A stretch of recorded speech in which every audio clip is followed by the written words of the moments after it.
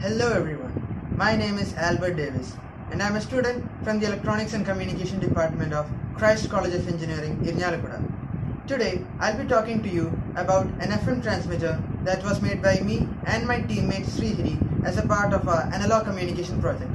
So, let's get started.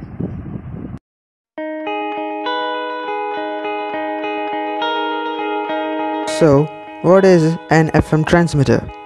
An FM transmitter, otherwise known as an FM radio transmitter, is a device that broadcasts a signal from a portable audio device such as an MP3 player to a standard FM radio.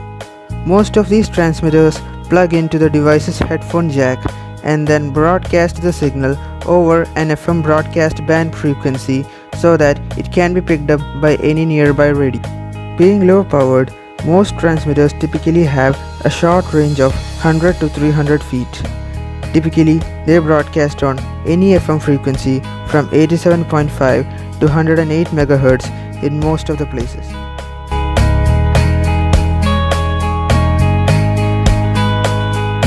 Since none of us could go out to buy more stuff during the lockdown, we decided to build our project using the hardware available at our home. So all we needed was a Raspberry Pi 4 with an SD card, a long wire and an FM radio. Now, to all those who don't know what a Raspberry Pi is, a Raspberry Pi is a low-cost, small-sized computer. It's being used by many people across the world to learn programming and understand how computers work.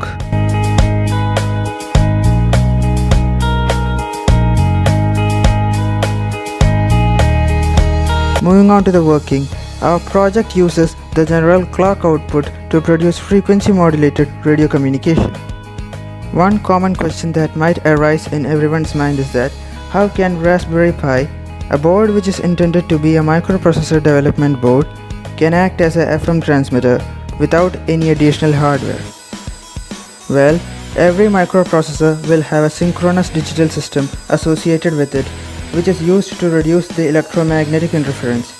This EMI suppression is done by a signal called spread spectrum clock signal or SSCS for short.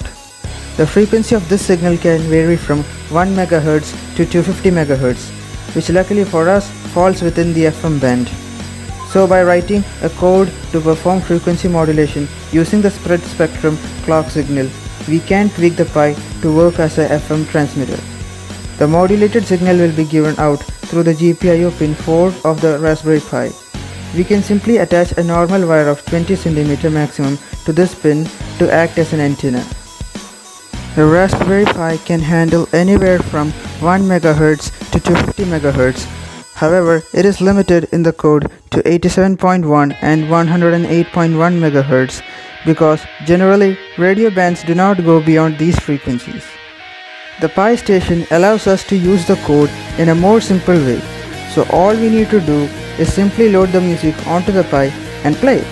However, since there was a chance of interfering with the government bands, we were very careful in keeping our transmission within the unlicensed FM band to avoid interference with the licensed broadcasters.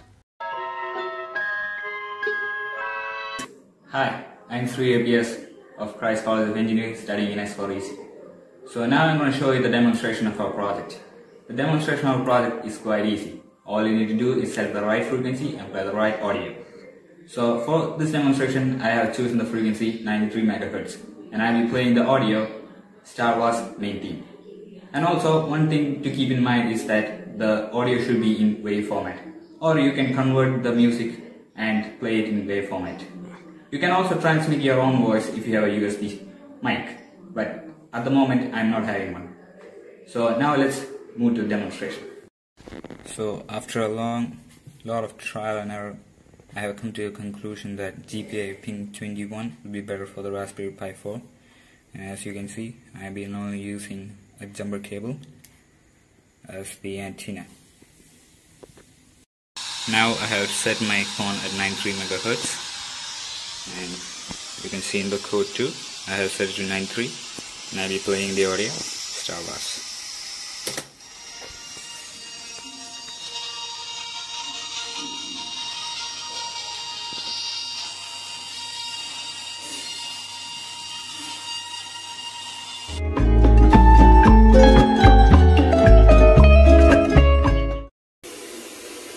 Also transmit your MP3 files. So I'll be transmitting a song from Linkin Park. So just to show you an approximate range, I have tuned and set my radio on the next hall. So let's see. So as you can see, the audio is being converted to 16 bits mono.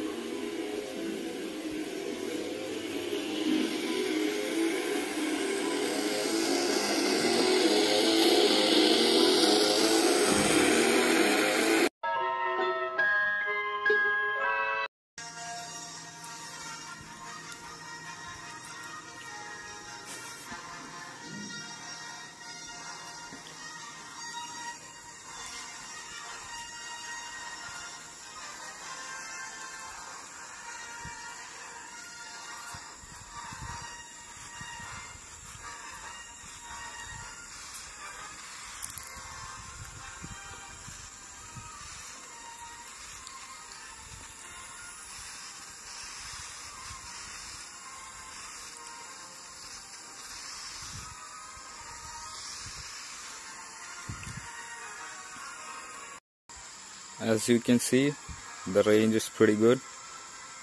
I'm standing right outside my house and I think it can go further but as we all know uh, it can't go any further. So that's it.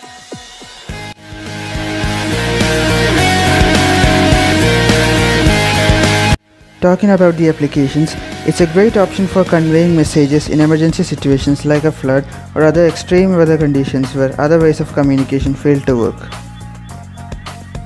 In fact, we were even planning to implement this system in our college to convey important messages from our old block to new block by using a bigger antenna and selecting a suitable frequency.